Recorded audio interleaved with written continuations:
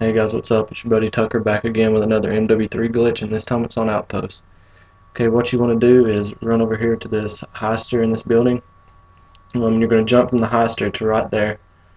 What you want to do is come on top, jump over this rail, jump onto the Hyster, and then get on the lift of it, um, and jump towards the light. Now, if you don't hit it just right, you'll fall down, and uh, you'll have to redo the whole thing, but just jump back onto the Hyster and jump towards the light and you should stick like that on the little ledge above the garage door. Um, it's a good spot to put down a tack and just walk over here in this corner and camp out for the whole game. So yeah, thank you guys for watching. Um, comment, rate, subscribe, and thanks guys. See you next time.